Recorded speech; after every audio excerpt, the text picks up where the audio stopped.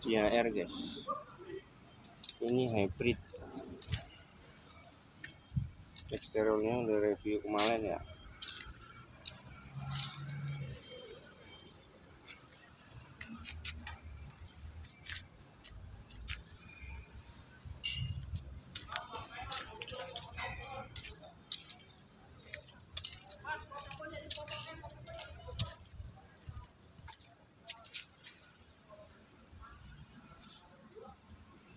lebih gagah lebih muda